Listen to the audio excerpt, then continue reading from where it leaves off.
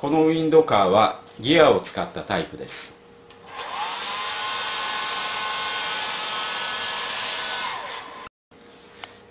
ここにクラウンギアを使っています。下の方にももう一組クラウンギアを使っています。これによってプロペラの回転をタイヤに伝えています。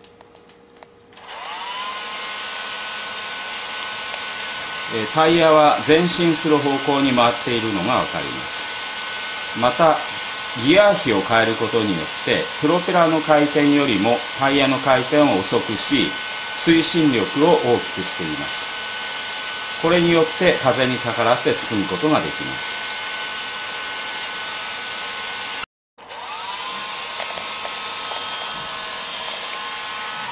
はい OK です。